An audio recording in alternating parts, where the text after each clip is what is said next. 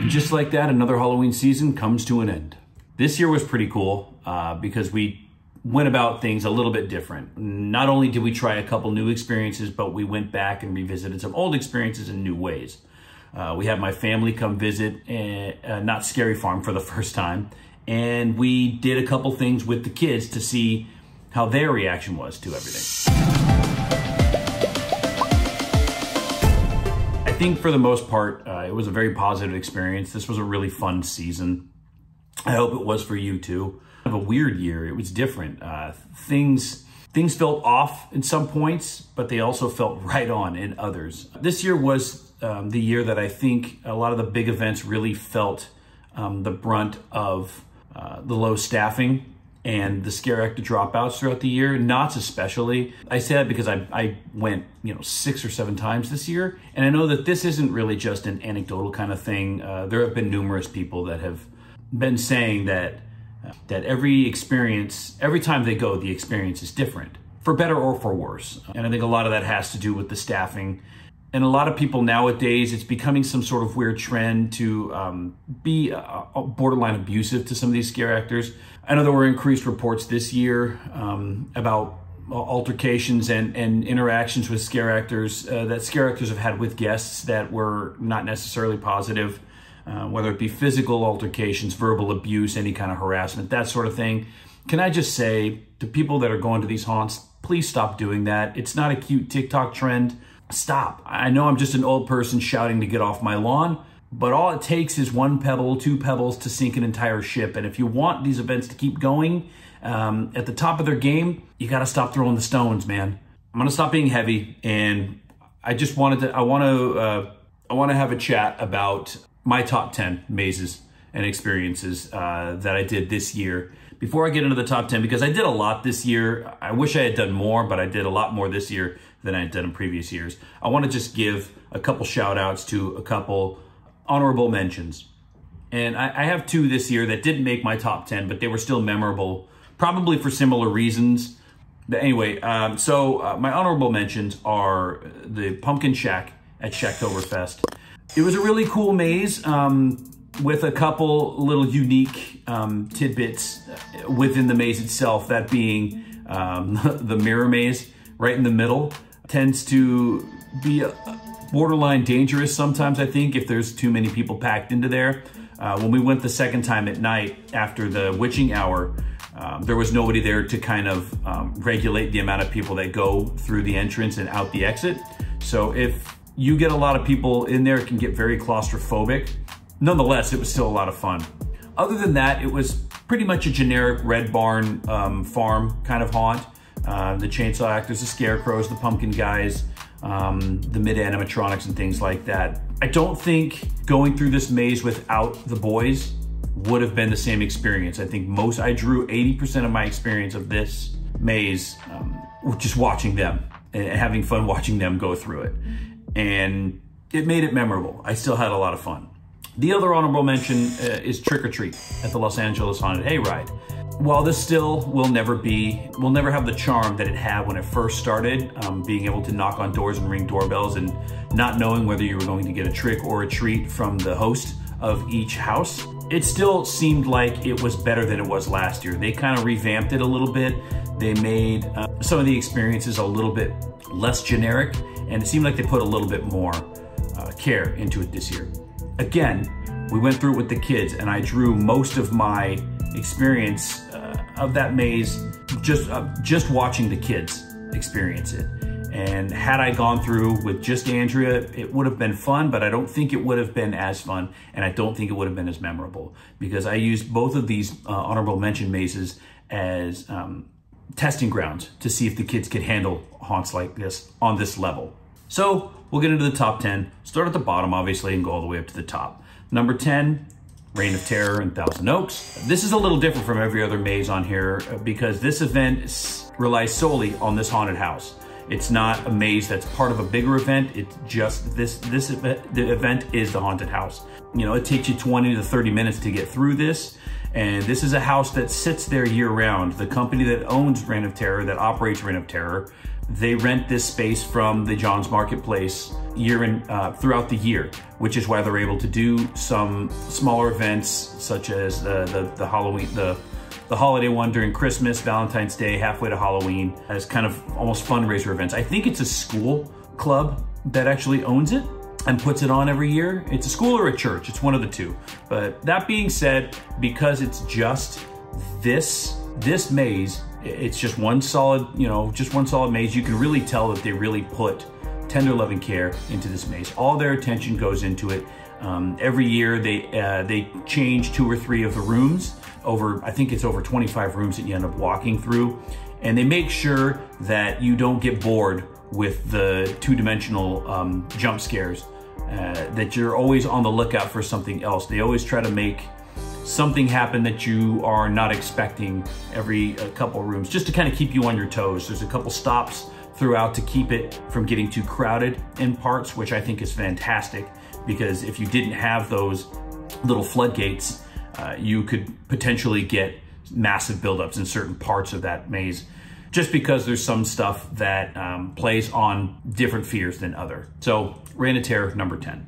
Number nine was a new maze this year at a new park that we went to, which was at Castle Dark Night Shift. I don't know if um, this is the first year that they've done this or not, um, but it's the first year that we ever went to Castle Dark. So um, if they've done Night Shift before, bravo. I have always been a fan of uh, interactive props throughout mazes. Uh, I really liked when Plague Productions revamped Trick or Treat and turned Trick or Treat Lights Out and had the lights kind of flickering on and off. This didn't have that sort of interaction, but they, they gave you flashlights and it was pitch black in there and you had to kind of find your way out. The Haunted Hayride actually did this a few years ago too with the pitch black maze where they gave you like a little one, lot, one watt lantern that you really couldn't see anything um, with it, but it was really your only guiding light through the maze. So you get this, you get this light and you got to go through this toy factory in the middle of the night and there's, you know, haunted dolls and, and toys and stuff.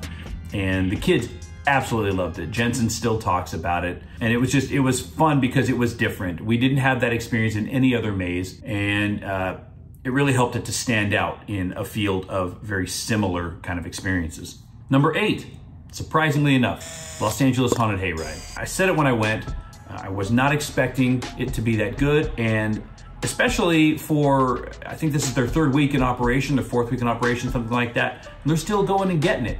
The actors on the Haunted Hayride, props to you, man. You guys did a great job. Uh, again, I experienced it with my kids and they could not stop talking about it all week. They had such a fun time.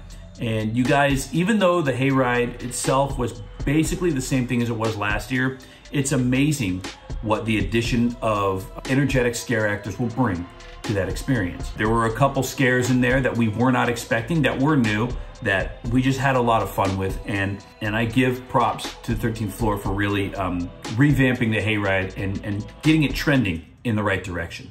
Number seven, Holidays in Hell.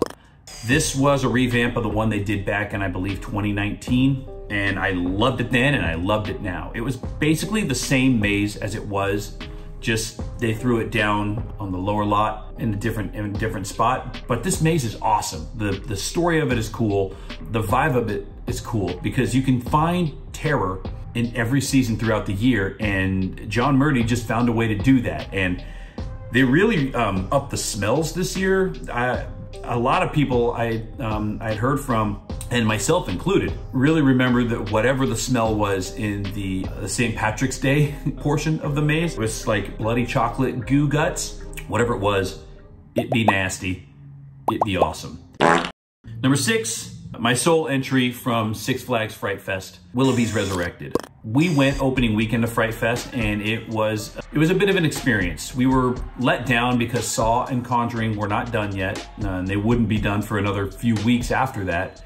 And it seemed like they really got hit hard with the low staffing. There were like, there were mazes that we went through that just seemed like they would have been phenomenal. Like Truth or Dare, I, I seen, I saw videos of that where the with the scare actors in it, that's a great maze. But it seemed like the only maze that had scare actors in it was Willoughby's Resurrected.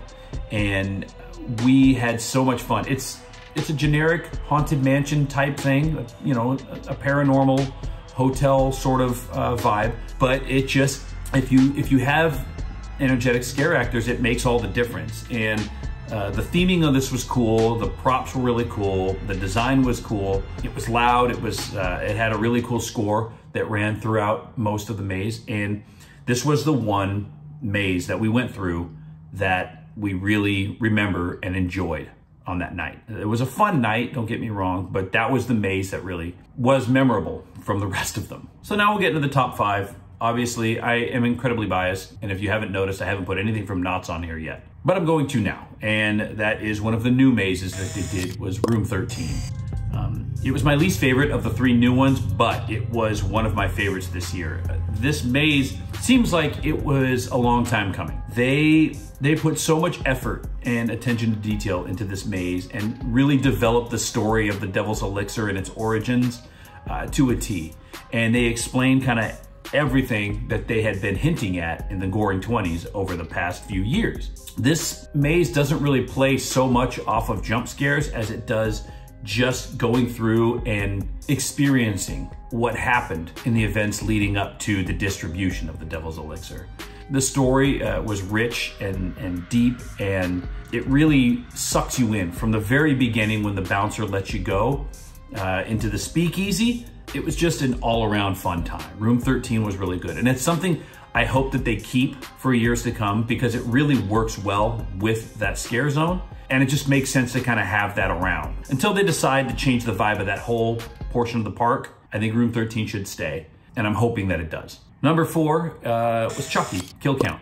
This maze I didn't really expect much from. I actually just expected a kind of generic um, monster icon maze where he was just kind of going around and uh, killing innocent kids. Essentially, that's really what it was, but it was fun. Uh, there was a lot, you get squirt, you get squirted a lot in this maze. There's a lot of, a lot of blood squirts, but the kills were, were, were interesting. There wasn't a lot of jump scare actors as Chucky. Of course, the nine foot Chucky is going to be going to live in my head for a while. That was a fantastic surprise. I did not see that coming and I didn't expect to hear it sound like a, a, demon dragon beast either. It was so much fun. Uh, the It was entertaining to walk through with the exception of a really thick conga line and having to stop every six feet. It was a fun maze. This maze was a lot of fun.